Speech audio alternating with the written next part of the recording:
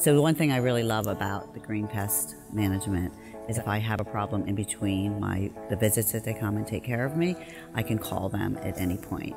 And I just think that's great. It gives me peace of mind knowing that it's taken care of and if I do have a problem I can call them.